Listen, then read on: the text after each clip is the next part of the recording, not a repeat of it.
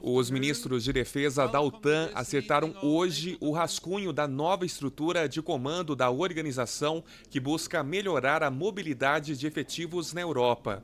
A OTAN também procura integrar o componente cibernético nas suas operações.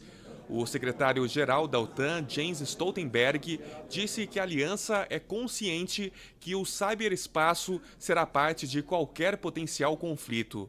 Por isso, a organização, segundo ele, pretende criar um centro especial de cyberoperações. E Stoltenberg explicou que a capacidade cibernética nas missões vai se juntar aos meios convencionais, como barcos, tanques e aviões e lembrou que o uso dessa nova ferramenta será feito conforme a lei internacional.